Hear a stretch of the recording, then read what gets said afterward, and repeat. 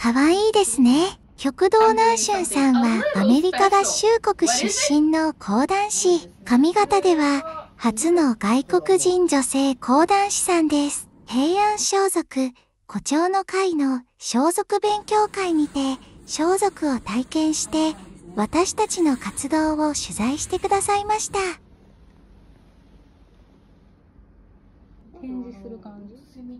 誇張の会の三島由紀先生は南春さんをモデルに絵を描きました。私も装束を着て歩く練習をたくさんしましたよ。